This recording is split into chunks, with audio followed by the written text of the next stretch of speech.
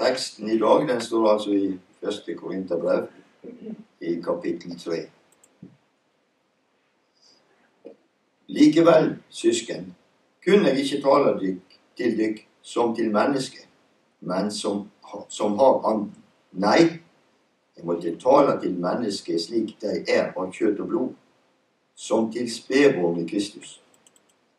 Mjølk gav dykk å drikke, og ikke fast føde, for det kunne de ikke tåle. Ja, det tåler det ikke ennå, for fremdeles er det bare kjøtt og blod som rår i dykk. Når det er misunning og strid mellom dykk, er det ikke da styrte av det rene menneskelige, som alle andre, å gå fram på samme måten som deg. Når én sier 'Jeg held meg til Paulus', og en annen 'Jeg til Apollos', er vi ikke da som alle andre mennesker? Hva er vel, hva er vel Apollos, og hva er Paulus? Tjenere som hjelpte deg til tru. Begge gjorde vi det Herren hadde sett oss til. Jeg planta, Apollos vatna, men Gud gav vekst. Så er det ikke noe, hvor ikke den som planter eller den som vatner. Bare Gud er noe, Han som gir vekst. Den som planter og den som vatner, er ett, men de skal få lønn hver etter sitt, sitt eget arbeid. For vi er Guds medarbeidere. Det er Guds åkerland, Guds bygning. Etter den nåde Gud har gitt meg, har jeg lagt grunnvoll som en klok byggmester, og andre bygger oppå. Men hver enskild må være nøye med hvordan han bygger. For ingen kan legge en annen grunnvoll enn den som alt er lagt, Jesus Kristus. Men om noen bygger på denne grunnvollen med gull, sølv eller dyre steiner, med tre, høy eller halv, så skal det en gang vise seg hva slags arbeid hver enskild har gjort. Herrens dag skal gjøre det klart. For den dagen blir med eld, og elden skal prøve hva det hvert enskild har gjort. Om det byggverket noen har reist, blir stående, skal han få sin lønn. Om det brenner opp, må han lide tapet. Sjøl skal han bli frelst, men bare som gjennom eld veit ikke at det er Guds tempel, og at Guds ande bor i dykk. Om noen ødelegger Guds tempel, skal Gud ødelegge han. For Guds tempel er hellig, og dette tempelet er det. Ingen må narre seg sjøl. Om noen av dere mener seg å være vis i denne verden, la han da bli en dåre, så han kan bli virkelig vis. For visdommen i denne verden er dårskap i Guds øyne. For det står skrevet Han fanger de vise og deres egen list. Og en annen står Herren kjenner tankene til de vise og veit at de er tomme. Derfor må ingen skryte av å være tilhenger av mennesker. For alt hører dykk til, enten det er Paulus, Apollos eller Kefas. Enten det er verden livet eller døden. Det som nå er, eller det som kommer skal. Alt hører dykk til. Men det hører Kristus til. Og Kristus hører Gud til. Amen.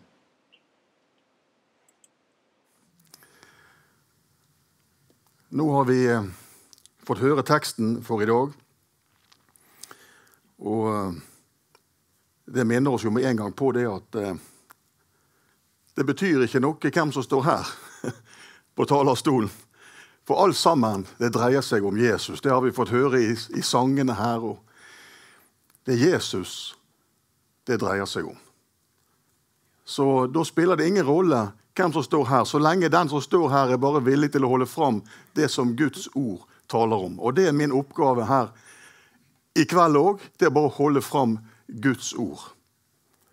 Og så er det Jesus det dreier seg om. Så det er ikke Olav det dreier seg om, eller Audun, eller lovsangerne våre, Ingrid og Laila, eller Det dreier seg om Jesus. Vi skal få være med og løfte han opp. Så det er det jo Paulus han prøver å få det inn igjen på sporet her i Korintermenigheten. For de har mistet litt eh, si, å si Jesus av syne. Midt oppi all sin, eh, sin gudsdyrkelse. Så har de blitt litt for mye opptatt av mennesker. Det ser vi veldig tydelig i de første fire kapitlene. Så Paulus han vil at vi skal se viktigheten av hva er det vi holder på med. Hvem er vi? Og så la Jesus få være herre over sitt hus, ikke mennesker. Så bare fortsetter vi nå å bare legge denne stunden i dine hender. Vi bare ber Herre om at du ved Din Hellige Ånd skal gjøre ditt ord levende for oss. Og så bare ber vi om at du, Jesus, skal bli stor. At du skal bli levende for våre hjerter. Og at vi ser at det er deg det handler om, og det er deg vi tjener. Det er deg vi følger. Det er du, Jesus. Du fortjener alt. Vi ærer og priser ditt navn. Amen.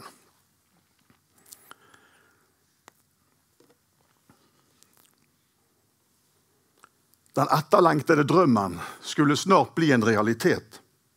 Grunnen var bearbeidet for familiens nye hjem.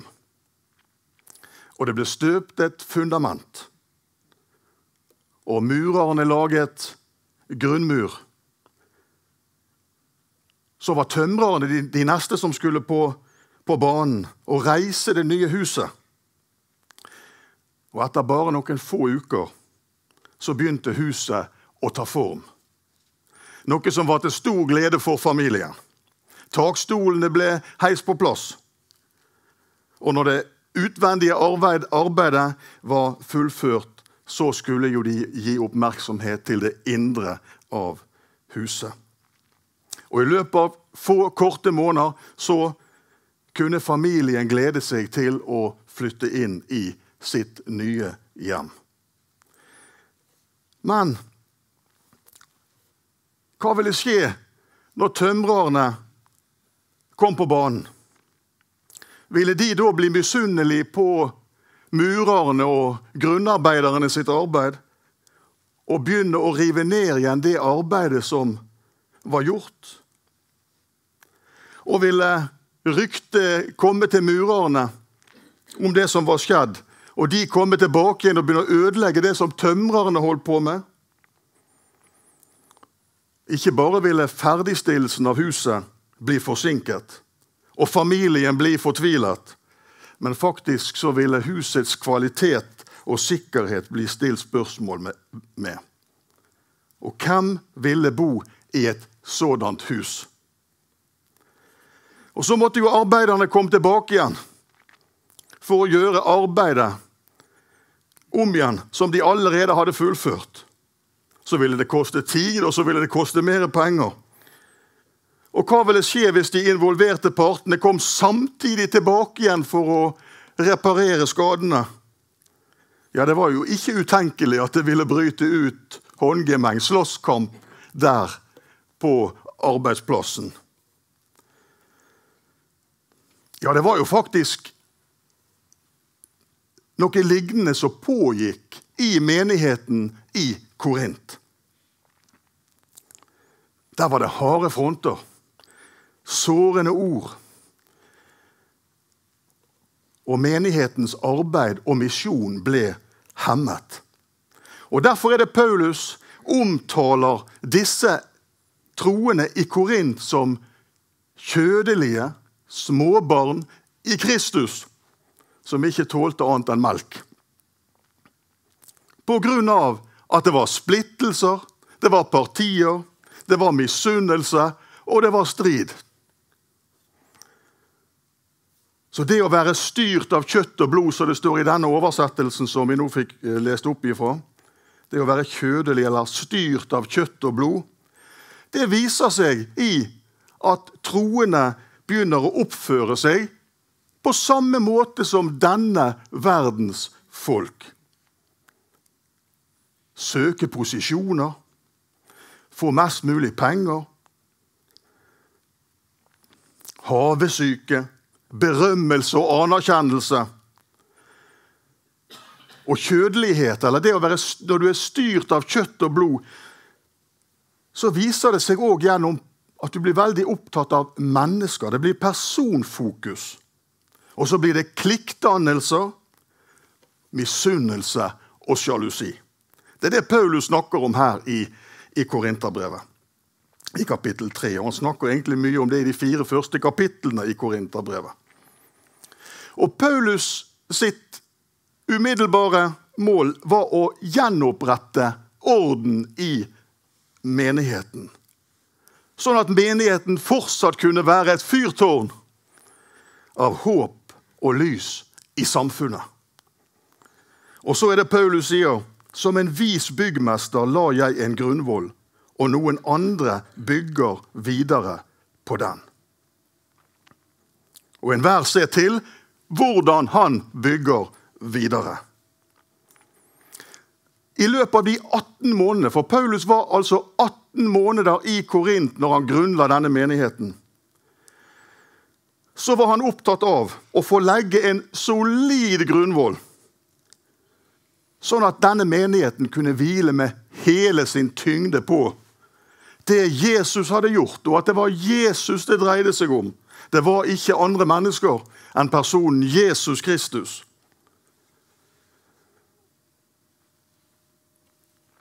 Men nå har de altså kommet litt ut av sporet.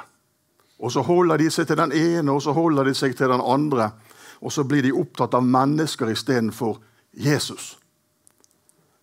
Og nå er det han prøver å styre menigheten inn igjen på grunnvollen, så de kan stå trygt og hvile trygt i at Jesus det er fullbrakt. Han har gjort alt sammen. Nå skal vi få arbeide ut ifra det som han har gjort, og Jesus skal få virke gjennom oss. Det er Jesus for oss, det er Jesus i oss, det er Jesus gjennom oss det handler om. Og Han sier jo det til Kolossermenigheten, og han sier jo dette her til menighet etter menighet. Det var det han var opptatt av. Og i Kolosserbrevet 1,28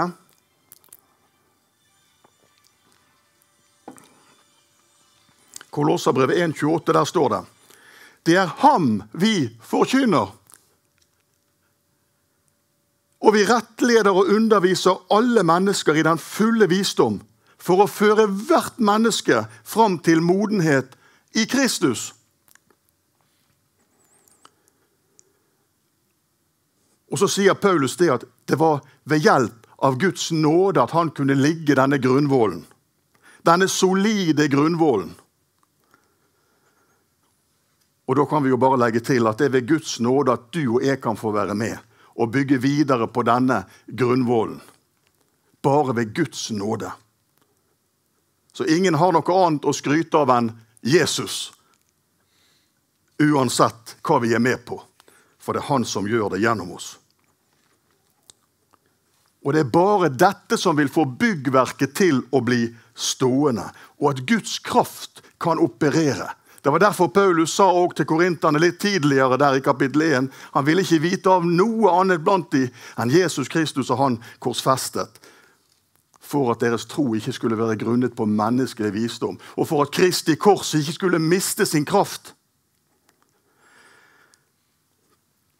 Og så sier han til galaterne i kapittel 6 og vers 14 Han er jo inne på det samme.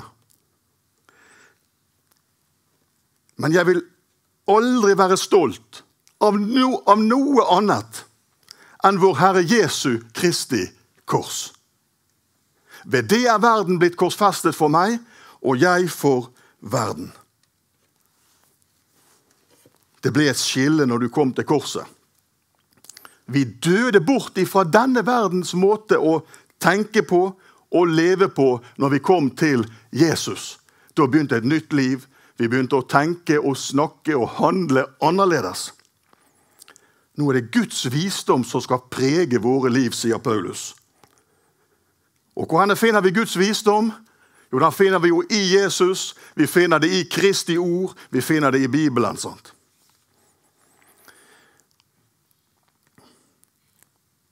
Men helt tydelig så var det altså noen i menigheten i Korint som var stolt over sin verdslige visdom, verdens visdom som de hadde med seg.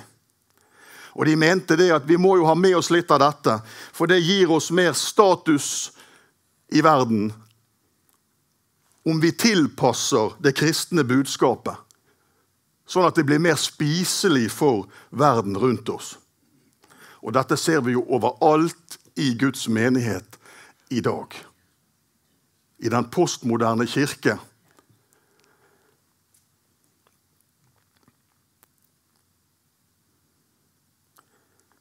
Vi har valget. Å bli stemplet som dårer, enten av Gud eller bli stemplet som dårer av verden. Denne verdens visdom leste vi i vers 18 i teksten vår her. Denne verdens visdom er dårskap for Gud. Og i vers 18 i første kapittel så står det at ordet om korset er en dårskap for verden. For de som går fortapt.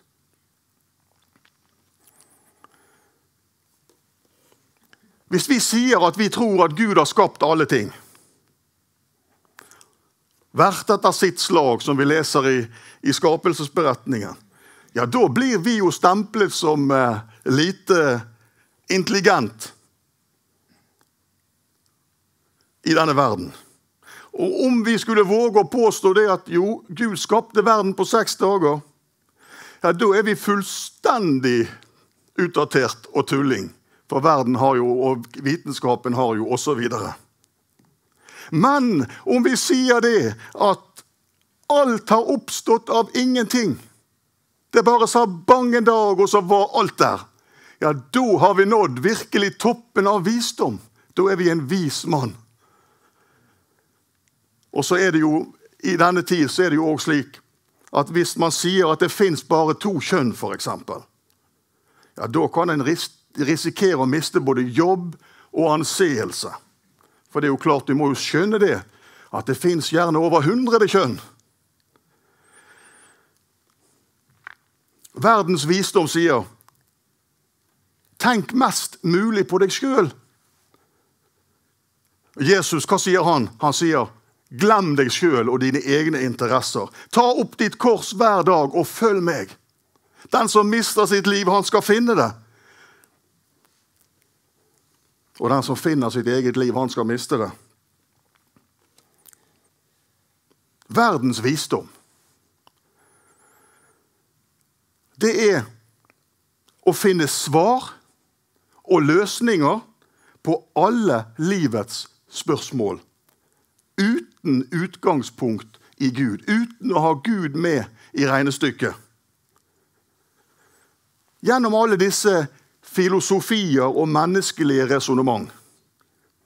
Det er massevis av sånne filosofier innenfor alle kulturer og religioner. Så er det mange sånne vismenn som har tenkt ut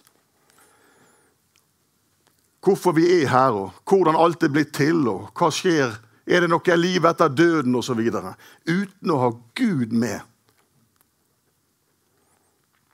Det er verdens visdom. Og disse stridende korinterne de trodde de var kloke. For de hadde jo dratt med seg en del av disse tingene inn i menigheten. Og det ble jo Ja, da mistet korset sin kraft, sa Paulus.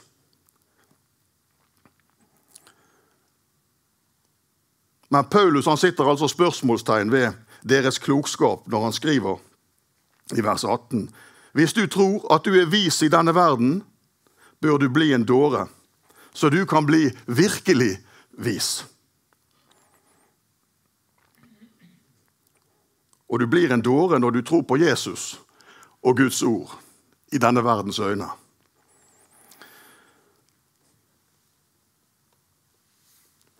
Og du kan umulig, bare for å understreke det, du kan umulig ha den sanne visdom og innsikt om verden og alle ting uten å kjenne Han som har skapt alle ting. Det sier jo seg sjøl. For oss er jo det en selvsagt ting, men for verden så er jo ikke det det.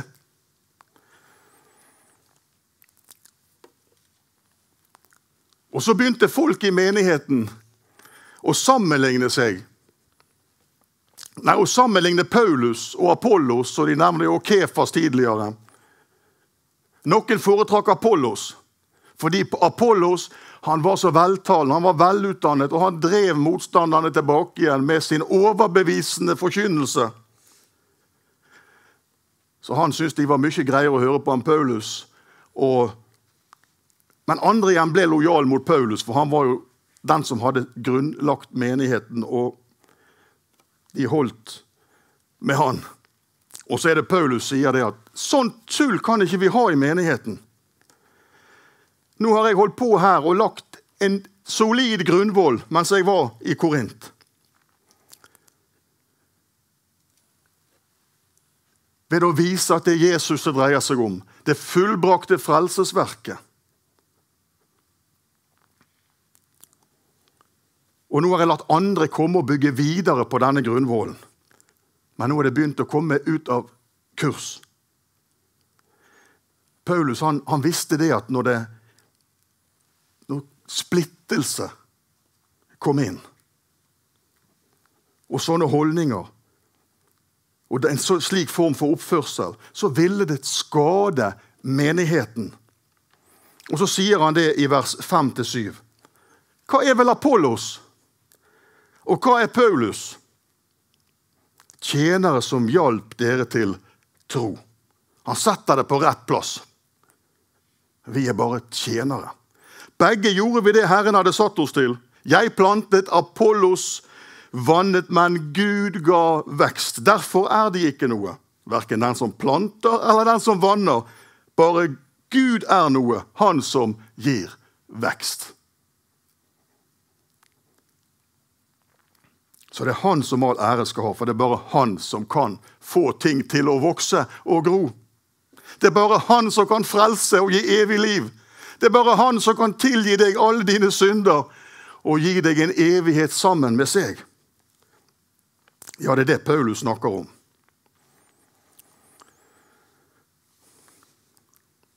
Og så er det som Paulus snakker om dette, at måten vi lever på, måten vi oppfører oss på i vårt daglige liv, sier mye om vår tro.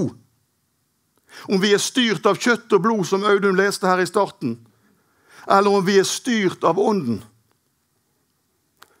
For, sier han, hvis folk har problemer med å komme sammen med andre i menigheten, hvordan kan de nok en gang håpe på å tiltrekke seg andre til fellesskapet? Dessverre så er det mange menigheter som har rykte på seg for strid og splid. Og når menigheten befinner seg i en sånn tilstand, så klarer de ikke å tiltrekke seg nye mennesker. Så må Gud hjelpe oss her at ikke vi havner i en slik situasjon. Men heldigvis opplever jeg ikke det sånn i Indre kyrkja. Så det er vi veldig glad for. Det Paulus ønsket, det var jo at menigheten skulle samarbeide som et team. Det er teamwork å være i menighet. Hver person har fått en gave fra Gud som sammen med de andre gavene skal bygge opp menigheten. Og når vi har det rette fokuset, Jesus-fokuset, så vil det blomstre. Korintermenigheten hadde jo masse gaver, det står det jo om. De manglet ingen, ingen nådegaver. Men de hadde litt feil fokus, så det, det ble litt sånn sand i maskineriet som gjorde at det gikk ikke så bra likevel. Så det er flere faktorer som må være på plass. Og her er det viktigste at vi står stødig på denne grunnvollen, som er Jesus Kristus samfunnet med han. Og så sier han videre at vi er innlemmet i Kristi kropp. Og så spør Paulus Vet dere ikke at dere er Guds tempel, og at Guds ånd bor i dere? Altså Her løfter han de litt opp, kan du si. Ganske høyt opp. Framfor det å bare være tilhenger av mennesker. Dere er Guds tempel. Guds ånd bor i dere. Du verden. Ja, det hadde i grunnen passet med et lite halleluja der, altså. Men jeg er klar over det at vi er i Indremisjonen, så vi må, være, vi må være litt forsiktige der. Men det er grunn til å juble litt. Tenk at vi er Guds tempel, og Guds ånd bor i oss. Den som skapte himmel og jord, han er her. Så derfor så sier jo Paulus òg Det ligger jo det både et voldsomt privilegium, samtidig er det jo et, et ansvar i det. Måten vi lever, lever på, skal være markant forskjellig fra resten av denne verden. Vi skal være rike på gode gjerninger. Bibelen forteller oss mye om dette. Det skal være en høy moralsk og etisk standard i menigheten, i Guds tempel. Vi, vi skal ikke snakke så mye om de der ute, men i menigheten skal det være en høy og moralsk, etisk standard. Det skal være omsorg. Det skal være kjærlighet. Ja, menigheten er mer enn murstein. Det er mange som tenker seg på som en flott, stor kirke bygd av murstein. Det er menigheten. Det er kirken. Men menigheten ut ifra Guds ord, det er deg og meg. Det er levende steiner som føyes sammen. Og så åpenbarer Gud seg. Og så får Vi skal ha mye mer tid nå, men det har vi jo ikke. Men det står jo om dette med dagen som skal åpenbares med ild osv. Det kommer en, en, dag der vårt livsverk skal prøves. Det handler ikke om vi kommer til himmelen eller ikke. Men en dag så skal vi få lønn. Belønnes. For om vi har stått stødig på grunnvollen og bygget med de rette materialene, som er åndens materialer, det som ånden har behag i. Om vi har blitt styrt av kjøtt og blod, eller om vi har blitt styrt av ånden. Altså, hvor mye har Jesus fått prege livet mitt? Det er det det handler om. Det skal vi en dag få lønn for, forteller dette avsnittet oss. Det skulle vi snakket mer om en annen gang. Det skal vi snakke mer om en annen gang. Så det blir en spennende dag. Men vi trenger ikke være redd for at vi skal gå fortapt den dagen. Det bare holder jeg sterkt fram. For det er bare det som Jesus har gjort, at vi en dag kommer til himmelen. At vi når fram til målet. Så vet vi at menighetens visjon er vise godhet og vinne mennesker for Jesus. Så skal jeg bare fortelle en liten historie der òg det ble praktisert. Det var en liten menighet ute på landet der de gjennomsnittlig hadde 30 besøkende hver søndag. Men en søndag så kommer det en mor og et lite barn på besøk. Og det var helt tydelig at dette lille barnet hadde helt spesielle behov som krevde medisinsk behandling 24 timer i døgnet. Og først så ble jo denne menigheten, en del av menigheten, skremt av graden denne familien trengte av hjelp. Og andre igjen de syntes at dette var jo litt forstyrrende for, for møtene, for gudstjenestene. Det, det, det, det, var ikke den roen som hadde vært før. Men sakte og sikkert så ble menigheten opplært til å hjelpe med omsorg for barnet. Og moren var så takknemlig. Hun kunne få hvile litt, slappe litt av. Hun kunne fått gå noen ærend. Og barna, De få barna som var i kirken, de snakket både med barnet og med moren. Og mennene bidro med praktisk hjelp i hjem og tilretteleggelse, så det skulle bli lettere for moren å ha dette barnet hjemme. Og disse godhetshandlingene forvandlet menigheten, forteller de.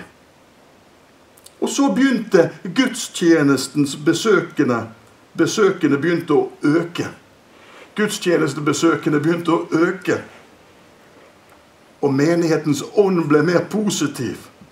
Og snart begynte andre familier med små barn å gå i menigheten. Så menigheter som lærer seg å behandle andre med Kristi kjærlighet, tiltrekker seg mennesker. Det gjør menigheten til en magnet. Guds tempel er ment å være en sånn magnet der Gud opererer. Guds tempel ligner på Jesus. Så sier han i vers 17.: Dersom noen ødelegger Guds tempel, skal Gud ødelegge ham. Et alvorlig ord. Men vi kan ikke la være å lese det for om det er alvor, alvorlig. Vi må bare la det synke inn, og så må vi tenke på det. Paulus han ønsket at folket i Korint skulle se på seg sjøl og hva de gjorde. Og stille seg spørsmålet oppmuntret de hverandre i troen. Eller var de, eller var de misunnelige? Var det strid? Bygget de hverandre opp, eller rev de hverandre ned? Men ifølge det som Paulus sier, så tar ikke Gud lett på ødeleggende eller destruktiv oppførsel. Og ikke minst falsk lære i menigheten. Og det er jo spesielt de som forkynner, som må være forsiktige. For det er svært alvorlig å komme med falsk forkynnelse. Som var jo litt av det som skjedde i Korintermenigheten. Folk som forårsaker skade, forteller dette avsnittet oss, vil stå ansvarlig overfor Gud. For Guds tempel er hellig, skriver Paulus. Og det er dere som er dette tempelet. Så han understreker det igjen. Dere tilhører Gud. Og derfor sier han i vers 21 Derfor må ingen skryte av å være tilhenger av mennesker. For alt hører dere til.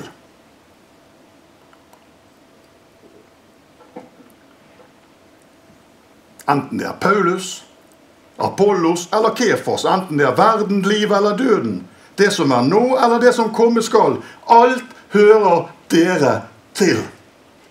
Kjenner ikke du oppdriften i dette halleluja? Alt hører dere til. Men dere hører Kristus til. Det er jo derfor alt andre hører oss til. Og Kristus hører Gud til. Han er jo det som gjør at vi kommer til Gud. Så derfor Vi må ikke degradere oss sjøl til å være tilhengere av mennesker. For alt tilhører oss. Absolutt alt, sier han. Måtte Den hellige ånd håper å si, åpne våre øyne, så vi forstår hva det innebærer. Alt. Predikantene tilhører oss, bibellærerne tilhører oss, alle tjenester tilhører oss. Ikke omvendt. Ingen av oss tilhører noe menneske. Men alle sammen tilhører oss, menigheten. Verden tilhører oss. Og Bibelen forteller oss en dag så skal vi herske som konger på jorden. Og den dagen nærmer seg. Livet tilhører oss. Det evige livet. Overflodslivet i Kristus. Han kom for å gi oss liv i overflod. Døden, døden tilhører oss. Død, hvor er din seier? Ja, døden er oppslukt til seier, forteller Paulus lenger ute i dette brevet her. Det som nå er, eller det som komme skal. Alt tilhører oss. Og vi tilhører Kristus. Vi er hans eiendom. Og jeg, det ordet der, og jeg elsker det ordet der Vi tilhører Kristus. Vi er hans eiendom. Han har satt sitt merke på oss. Han har satt sitt stempel på oss. Og vet du hva? Hvis du tilhører Kristus, så kommer han til å ta vare på deg. Du trenger ikke å bekymre deg for noen ting. Gud vil ta vare på deg. Han skal aldri slippe deg og aldri forlate deg, uansett hva som skjer. Det kan skje mye som er vanskelig, og mye som er tungt. Men Gud, han vil alltid ta vare på deg.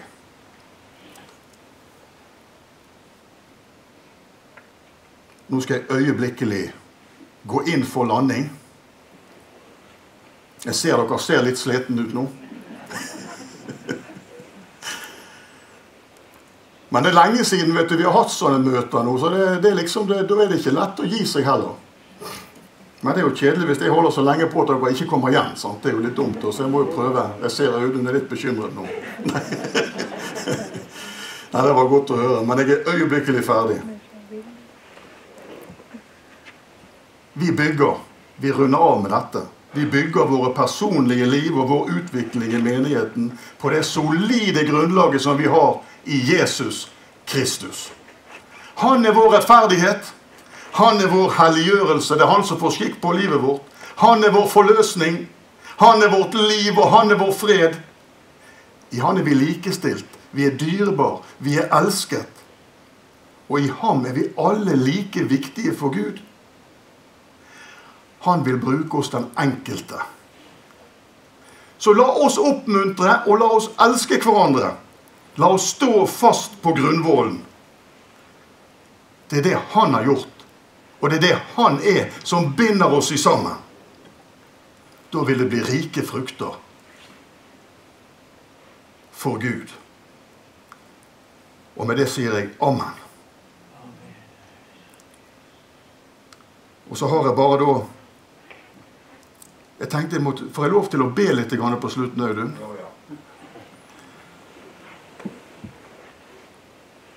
Bare noen spørsmål til oss alle.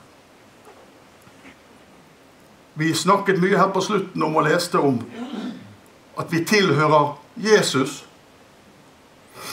Og da må jeg bare få stille spørsmålet. Er du sikker på at du tilhører Jesus? Det er jo det viktigste og mest avgjørende av alle ting. Og et spørsmål til. Det begynte her med Er du styrt av ditt kjøtt og blod, eller er du styrt av Ånden? Satser du på Guds visdom, eller satser du på verdens visdom? Den du finner i Kristus. Følger du Jesus, eller følger du mennesker? Bare tenk litt på det. Jeg, jeg, jeg, har lyst til å bare be en bønn for oss alle til slutt. Og det kan være andre ting du sitter og tenker på. Det kan være folk i familien du vil skal bli frelst. Det kan være sykdom og problemer av alle slag. Nå kan du lukke dine øyne. Håper så jeg har de åpne ennå. Men hvis alle andre lukker øynene Og hvis du har noe du sitter og tenker på nå, ut ifra det som vi har lest sammen i Guds ord Eller er det andre bønneemner som du sitter og tenker på? Løft din hånd til Jesus. Han ser din hånd. Han ser ditt hjertes behov. Han ser din lengsel. Han ser òg om du er på ville veier og ønsker å komme inn igjen på sporet. Løft din hånd til Jesus. Han ser deg.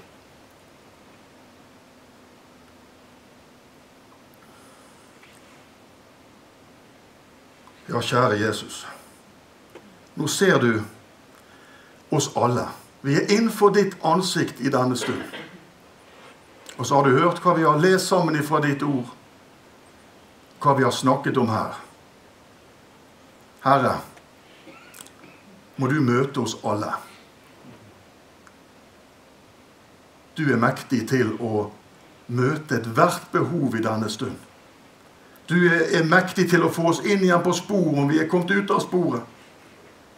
Du ser oss, Herre. Og du ser om det er problemer og vanskeligheter. Du ser om det er sykdom og smerter. Det er sorg og savn. Herre, vi løfter alt dette fram for deg i denne stund. Og så ber vi deg, kjære Herre Jesus, vi ber sammen med Paulus. Vi ber om, om, om å bli fylt med kunnskap om Guds vilje. I all åndelig visdom og forstand, så vi kan vandre verdig for Herren, til behag for Ham i alle ting.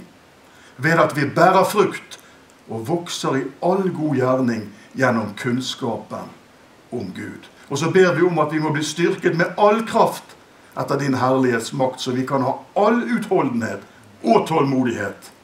Med glede kan vi da takke deg, Far, som har gjort oss skikket til å få del i de helliges arv i lyset. Det var du som fridde oss ut ifra mørkets makt og satte oss over i din elskede Sønns rike. I ham har vi forløsningen, syndenes forlatelse. Vi priser deg og ærer deg og opphøyer deg. I Jesu navn. Amen.